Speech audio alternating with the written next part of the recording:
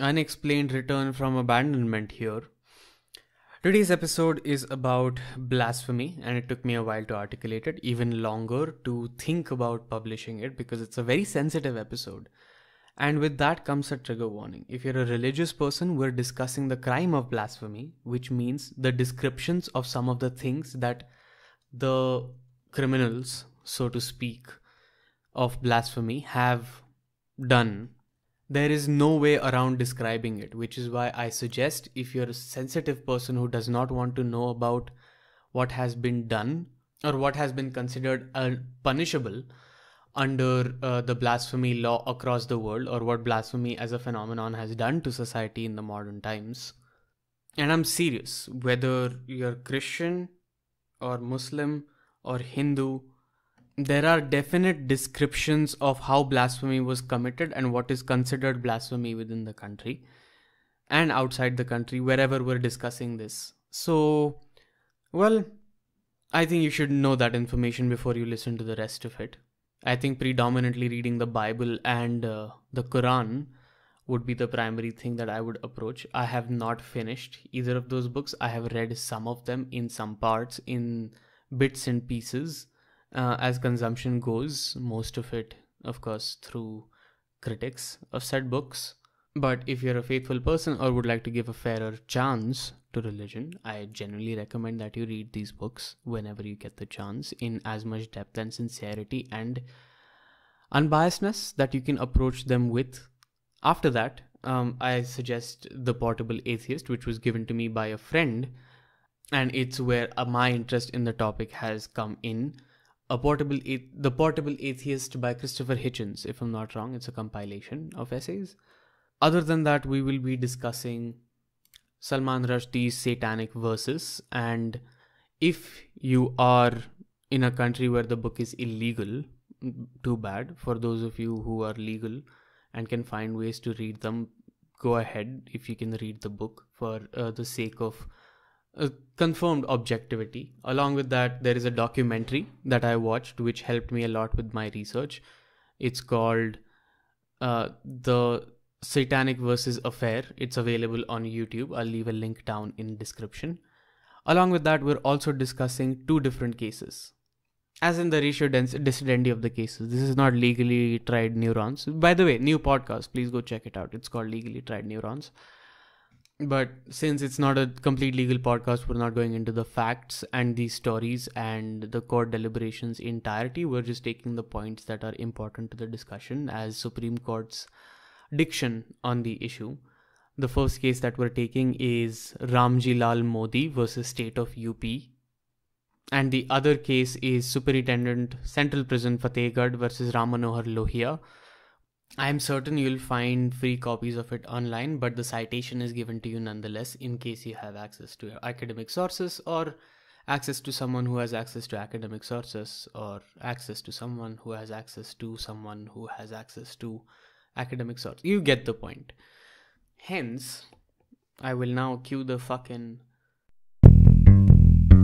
I originally wanted to start this episode by listing or telling you exactly why we're making this episode, as in how did it occur in my brain? Because that is a good way to start a story to tell people as to this is what i was thinking about and this is what led to this thought and so and so forth. But we'll get to that because there is a little bit of a story that it leads into which is kind of the point of the podcast in some ways because the story is interesting. It is quite intense. It is an example of what could happen what is always on the brink of happening in more ways than one but before that, we need to visit where have we seen the theme of blasphemy before in the catalog of the episodes. And also because that is where we will find where the laws of blasphemy themselves come from. It's a good idea to start with the origin of a concept like this because it's a peculiar thing. You go to jail for saying something specific against a specific institution in the society under most totalitarian assumptions, all of us would assume that it's because it threatens the state. Which is exactly why this law, series of laws about blasphemy also exist. And the episode that I want to throw back to is an episode titled Egyptian Guide to Justifying a Monarchy. In this episode, we sort of dealt with the Egyptian pantheon of gods because it was relatively unexplored, but more importantly, to learn a very important lesson because the pharaoh or Paro, I don't know how it's exactly pronounced, would claim to his people that he is a descendant of Ra, the sun god. And from there, you can kind of draw easily a connection. The reason it's bad to challenge God in that earlier civilization is because the ruling class, which has established a monopoly on power, depends upon the general people's belief that a God exists, that God is the sun, which gives us the sunlight for the day, and so on and so forth. And the descendants of this all giving entity are fit to rule us. It is a logic that follows, which is why if you question the religion, you question the state, which is not ideal for a monarchy. And that's an observation you will make across monarchies. For example, the Holy Roman Empire, which spanned somewhere between 800 to what 1500s uh, good well into 1600s from what i understand from the wikipedia page about it and also age of empires. I'm not very thorough on holy roman, roman empire but i do know that the vatican and the pope were an important institution within the holy roman empire. More than enough of us are also familiar with the rule of the caliphate and then followed up by the rule of the sultanate both of which were uh, verified by religion. Caliphate of course being led by a priest himself and sultanate of course is a monarch that is approved by uh, the islamic religion. If you're looking for more examples if the caste system at all is not just customary and is also based in religion the rajput working class would also derive its power from you know the justification that they are the running class or the management class of society just like Brahmins had claimed they're the educational class, which is why all the educational stuff was to be done by them. And all the power and violence and management and anything that would take asserting dominance by violence or the threat of violence and managing resources accordingly was the job of the Rajputs.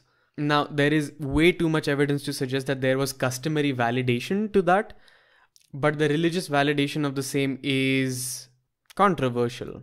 I'm not saying that there's no evidence for it. In fact, there is enough evidence for a fairly reasonable per- person to conclude that casteism very much uh, an idea validated by Hinduism itself. But prima facie, atheism has a space in Hinduism. I'm not sure that how much of it was tolerated, but theoretically, there was supposed to be space for atheists in the Hindu religion.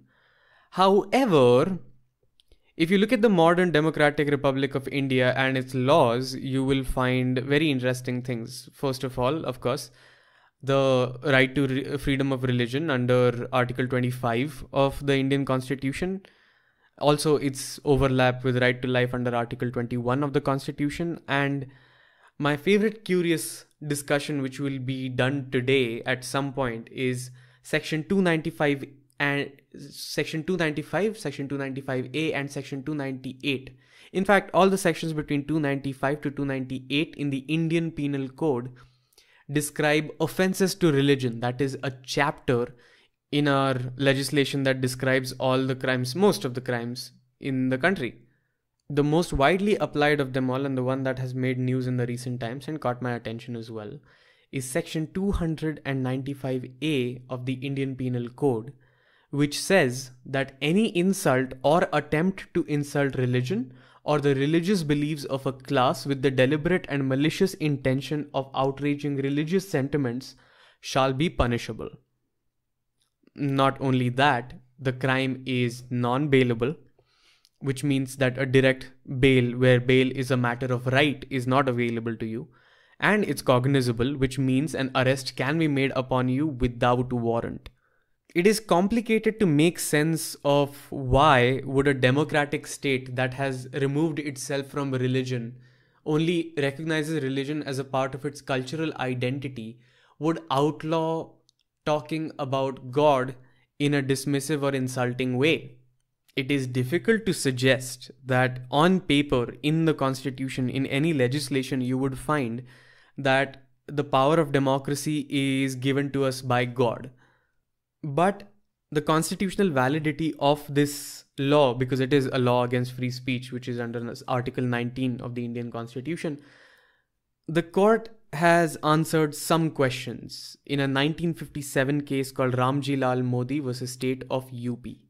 The court doesn't say that the state has any inherent interest in religion. They say that some activities call public disorder, which to a naked eye sounds like a good enough reason to suggest that something should be outlawed if it disturbs the public order significantly.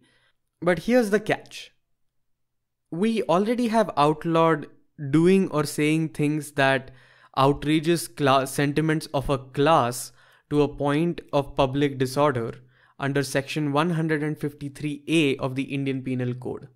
However, the Supreme Court also has articulated in several cases that religious disturbance in public order that is not done in fair criticism and is done with the intent to only provoke or in the knowledge of the insult of the religion should be punishable because it disturbs public order. Essentially, the reason Section 295A is constitutionally valid is because too many people's peace will be disturbed by the violence that some people might create upon hearing certain words about an institution that has dated centuries and we will reach back, we will touch back with section 295A of the Indian Penal Code after I tell you how did I think of this episode or why did I think of this episode. As of this point in time, I have not designed the Instagram promotions and YouTube thumbnail of this episode, which is why it most likely, I can bet, most likely it will give you a hint as to who this episode is about and whose book I was reading while I was thinking about this, it was, of course, Salman Rushdie. If you know about Salman Rushdie, I am certain there's at least one little tiny incident, a little affair, if you will, that you would know about, even if you've never read his books and only heard his name. And interestingly, I thought about writing this episode only when I read Midnight's Children, his 1981 book, which was critically acclaimed it shot him to fame. It was the bestseller. I think it was the first book that won him an award as such. So, anyway, I was reading Midnight's Children. And to be honest, reading it, I reaffirmed one of my oldest beliefs that I never articulated till I saw a meme of Nicolas Cage. So, there's this meme which kind of shows concentric circles, you know, Venn diagrams. And you have good actors that do bad movies bad actors that do good movies, good actors that do good movies, and bad actors that do bad movies. You know, an intersection of all four. So, the only person who checks all those boxes that comes in that little intersection of all four a good actor that is a bad actor that does good movies and bad movies is Nicolas Cage. And if you were to apply that analogy to the literary world, you would find Salman Rushdie. I think I have tweeted it uh, some time before that Salman Rushdie is the Nicolas Cage of the literary world. And I say that for a very specific reason is because I genuinely think magical realism has a lot of substance as a literary aesthetic.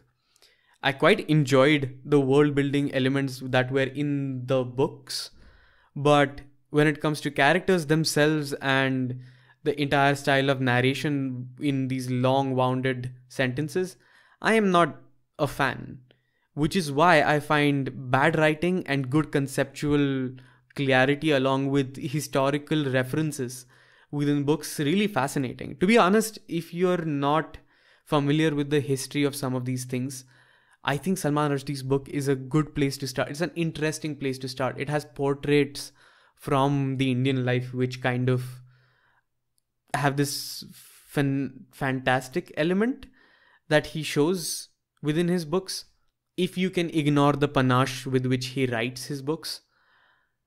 And of course, we're going to talk about the book that caused the controversy and that sort of shot him to fame and got him the knighthood from the Queen of England for literature. But before we get to that point in the story, we need to know who Salman Rushdie is beyond the provocateur writer who was from British India. I mean, he was in Britain when he wrote the book, and he was born in India about eight weeks before the independence of India. But his experience has shaped him to be writing this novel in some ways. Salman Rushdie was born in a liberal Muslim family in Bombay, which, in his own words, is a muse for his writings. It's somewhere where his conducive writing, in terms of atmosphere and story setting, plays the best. In his own words, of course.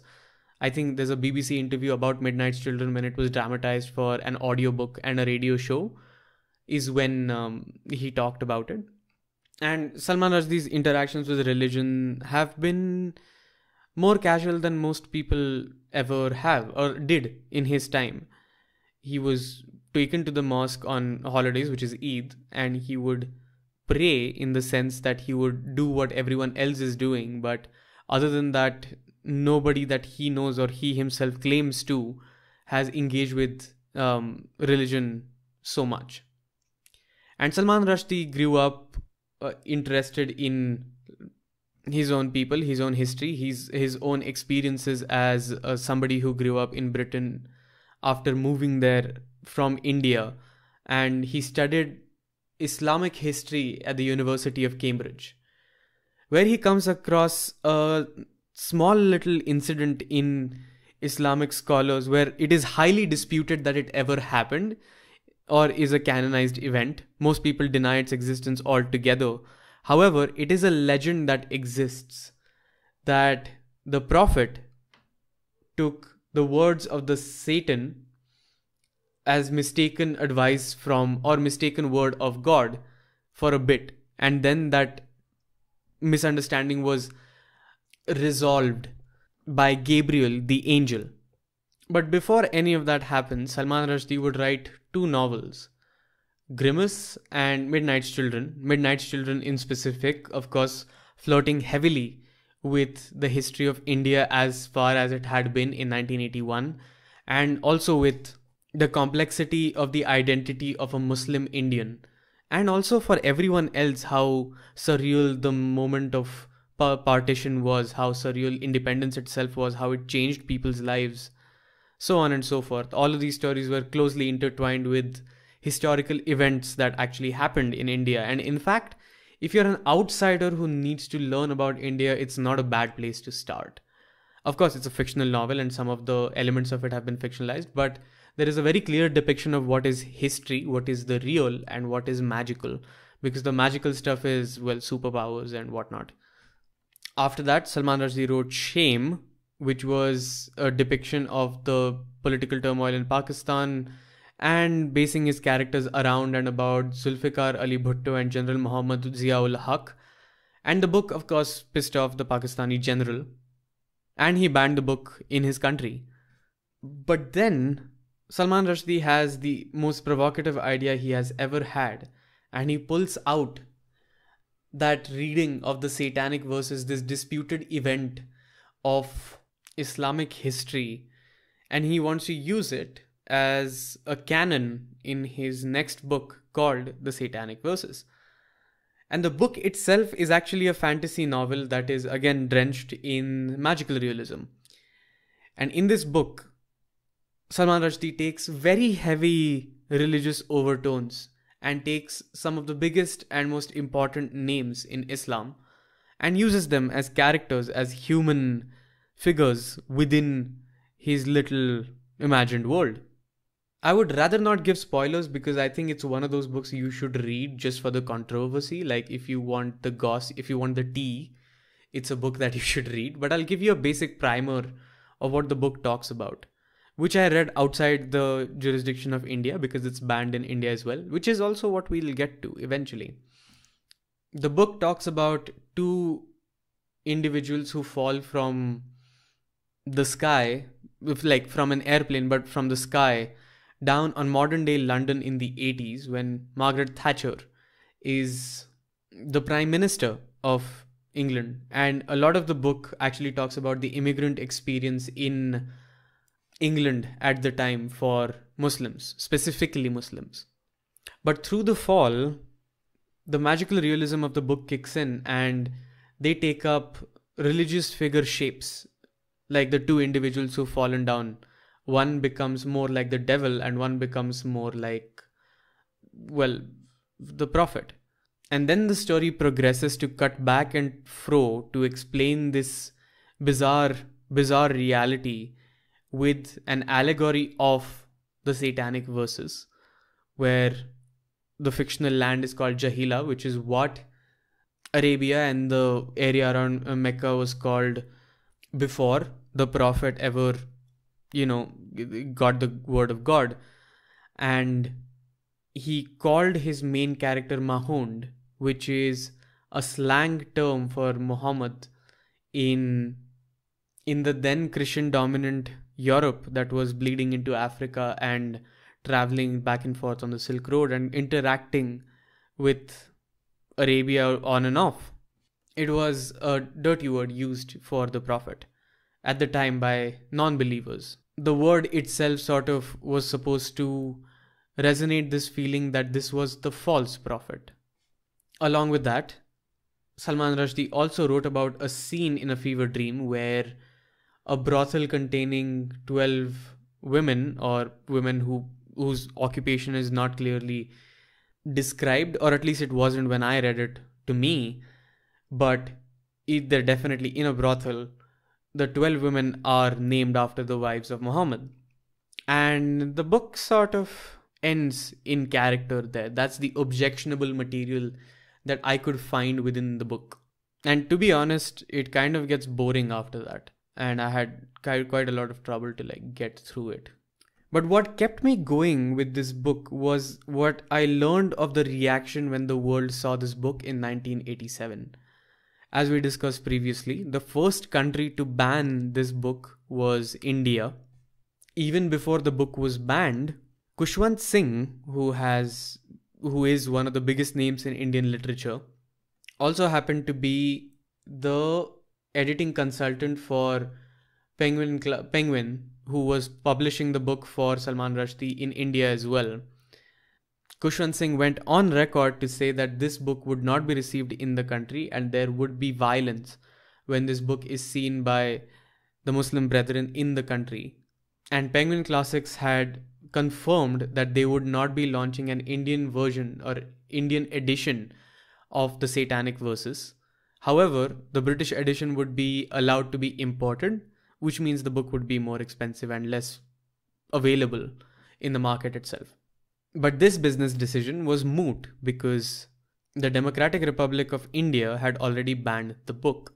And this was just beginning of the spiral. Salman Rushdie was also invited on every television and radio network possible in Britain to defend his views be against people who disagreed with him half a dozen countries also banned the book following the ban of India. But then the ball started to roll in the direction of problems. And by problems, I very specifically mean communal problems. So, at this point in the 1980s, both Canada and Britain had sizable Muslim populations. And a lot of the groups of Muslims that lived there felt like this was a blasphemous book, and under the UK law, it must be banned, and the person who has wrote this must give some kind of penalty, even jail if they needed to. And their concerns weren't completely unreasonable because the UK law at the time and the Commonwealth law, even in Canada, that is applicable, or anywhere in where common law is followed, there was provision and legal space to convict people of blasphemy as a crime, but blasphemy as a crime was only recognized to be done against Christianity. Like, I remember one of the interviews and uh, research things that I saw come across multiple times was that in 1978, the British House of Lords imposed a fine of 1000 pounds on a publication that published very lewd content about Jesus being involved in homosexual erotic acts. But here there was room for a new development in the law. That is, blasphemy against another religion had to be prevented. And these demands were vo- vocalized by multiple Muslims who were living in London, multiple Muslims who were living across the world, and they were urging their government to do something. Of course, in Islamic republics like Pakistan, the book had already been banned. However, in England, it hadn't been. And it was an English affair because this is an English citizen who has been brought into sp- spotlight for something they said against a religion that is not majoritarianly followed, but he himself is a follower of the religion since birth, or was born into the religion at least. But then, things quickly spiraled out of the control of the British government. And when I say that, I am not referring to the time when Salman Rushdie's book was being burned in the middle of the street by waves of conservative Muslims who had gathered before public offices in the UK. But I'm talking about what happened on the Valentine's Day of 1988. Here's where the other character in this story makes their appearance Ayatollah Khomeini. Ayatollah Khomeini was the religious leader of Iran after the 1979 revolution. For those of you who don't know, after Iran was decolonized by the Russians and the British after being invaded multiple times, there was a socialist democracy that was left leaning that was going to nationalize oil. And the US did not see that to be tolerable. So they staged a coup d'etat and put a monarch in place called Reza Shah, who was widely unpopular with the people and was very friendly to the Westerners.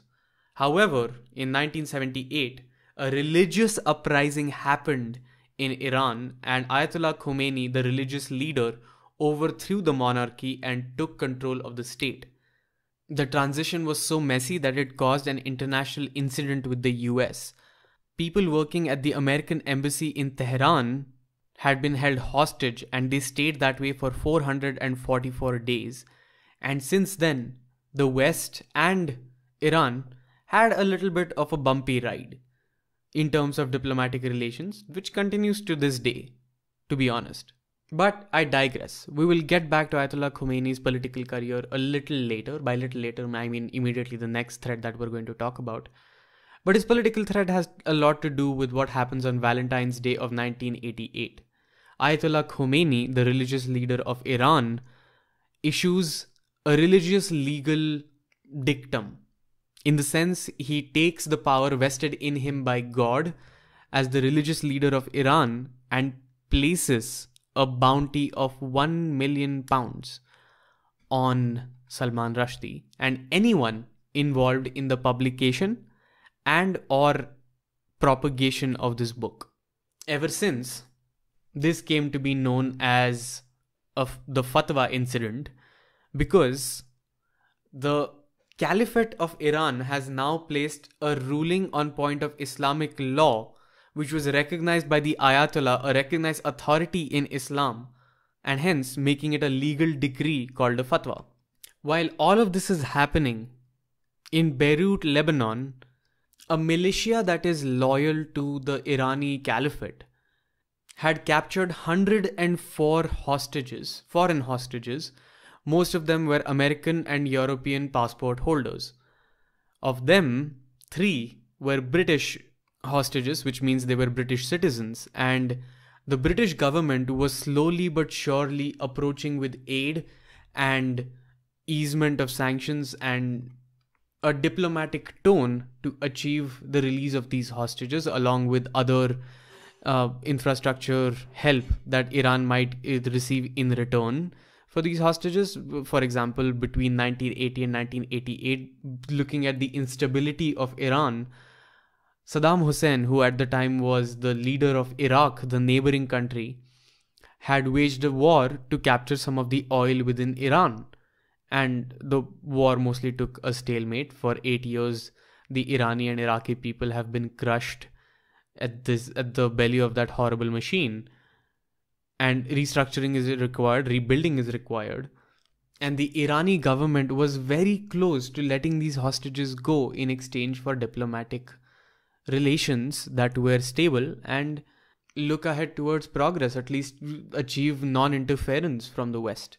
And from what I have followed, there is evidence to suggest that Salman Rushdie's timing of the book and the fatwa might have something to do with that negotiation being derailed for a very long time.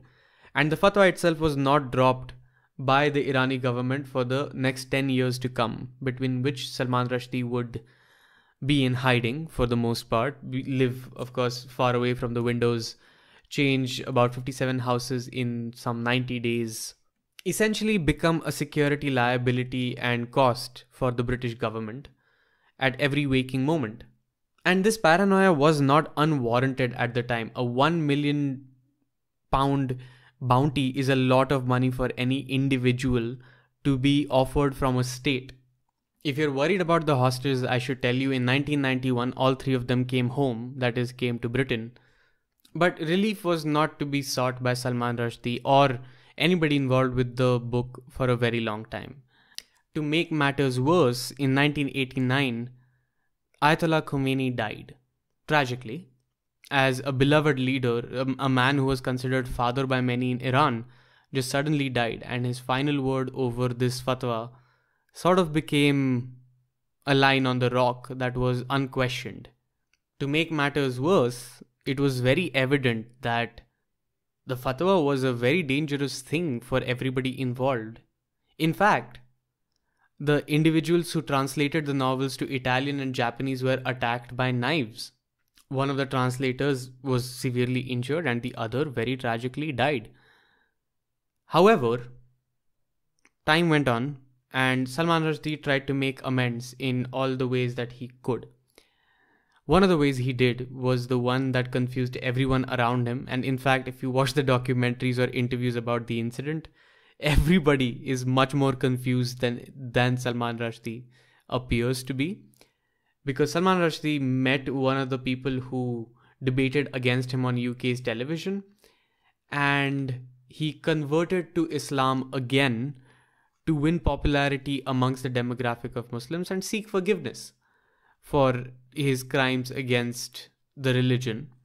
Of course, it didn't work. And plus, now Salman Rushdie had aligned himself, in his own words, with somebody who had justified homophobia in the sense that violent acts against homosexuals and other person who was saying some really misogynistic things in another article which is why he thought it was time for him to end his flirtation with religion again. And I must remind you that all of this happened uh, over the course of the first five years of the fatwa. And it was only in 1998 that the British diplomats managed to soften the rhetoric over the Salman Rushdie issue with Mohammad Khatami, who was at the time the leader of Iran as in the elected leader of Iran. And they finally got Iran to say that we would neither support nor hinder assassination operations on Salman Rushdie. To most people, that is considered the end of the fatwa affair. However, it kind of never died because the hardliners within the Iranian politics and in general across the world never forgave Salman Rushdie for his blasphemous acts not to mention, Ayatollah Ali Khamenei, the successor of uh, uh, Ayatollah Khomeini, renewed the fatwa in 2005 in a message to uh, pilgrims making the journey to Mecca. But at this point, the entire incident has taken canonization, which was actually kind of a criticism that one of the people gave when the novel came out that this is an arrogant attempt by Salman Rushdie to canonize himself. And to be honest, it's very easy to see it that way. To be honest, it might actually be semi intentional that that was to happen. However, it did not remain the only incident of blasphemy we will explore today. I mean, it will be the only story that we explore. But there are other examples that we need to mention at least. The other example I have is a legendary photo in conceptual art called Piss Christ the artwork is a photograph which is displayed by an American artist and photographer named Andres Serrano. And Andres Serrano's art project titled Immersion or Piss Christ is a cross drenched in human urine. The piece, of course, caused controversy and caused NEA's budget to be cut, along with, of course, um, for him to lose artist grants due to the controversy. And additionally, on April 17, 2011, a print of the installation was attacked and damaged beyond repair when it was on display in France, of all places. I think it's slightly difficult to forget the incident with Charlie Hebdo, his tragic death for drawing, well, a comic of Muhammad. And then we come to Article 295A and the role of the state in India as it stands today. And of course, we have to talk about it the Munawar Faruqui controversy. For those of you who don't know, on 27th of November 2021, Munawar Faruqui received a letter from Bangalore police that said that his show that was scheduled to happen at a venue in Bangalore cannot happen because they cannot allow a controversial figure that has made controversial statements against other religions and gods because of an FIR made against him uh, under section 295.8, 298 and 269 of the Indian Penal Code along with section 188 and section 34 all of these are disturbance of peace and spread of disease provisions. 295a and 298 specifically being blasphemy laws within the country. And it also stated that other states have also banned his shows on these grounds there is credible information that several organizations opposing stand-up comedy show performed by Munawar Faruqui could create chaos and could disturb the public peace and harmony which may further lead to law and order problems.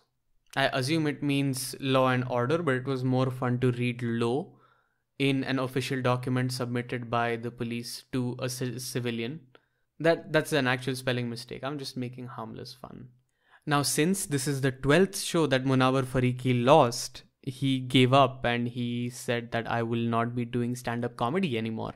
He has essentially left his artistic pursuits because the state refuses to protect him against violence from other individuals within the state. Essentially, the point of the story that I'm trying to communicate here in the Indian context and the larger world context is that, of course, in states where the religion is the source of power for the sovereign, it makes some kind of megalomaniac sense that blasphemy is outlawed. However, in democratic republics such as ours, the threat that there would be communal and even targeted violence for saying things is a little absurd. Essentially, the threat of violence has transferred from the sovereign to the public. Only in our case, our state categorically and consistently refuses to protect your freedom of speech, even when it's reasonable.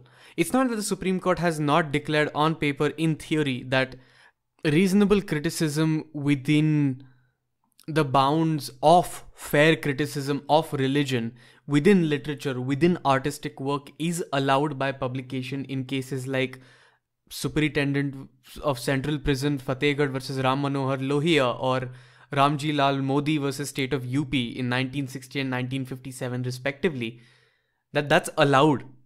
However targeted organized violence from citizen groups within the country not being protected from police would be a failure of someone's right even for somebody who is under trial like Munawar Faruqui for the crime of blasphemy it makes no legal sense that while we keep stating that we are a state that gives presumption of innocence until proven guilty, that an under trial must be stopped from a commercial endeavor that has nothing to do with stately duties.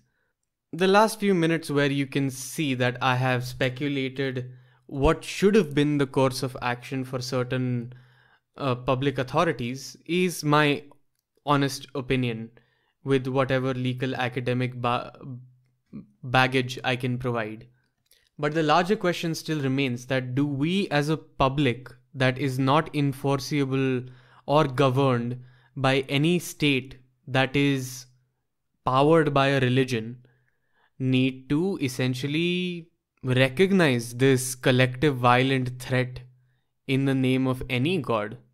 Another thing that Salman Rushdie himself said in the interview about Midnight Children's dramaticism by BBC Radio is that he always thought that his books were aggressively pessimistic when he was writing them, but when he reads them now, they sound utterly pessimistic because desecularization of India is something that he believes has happened.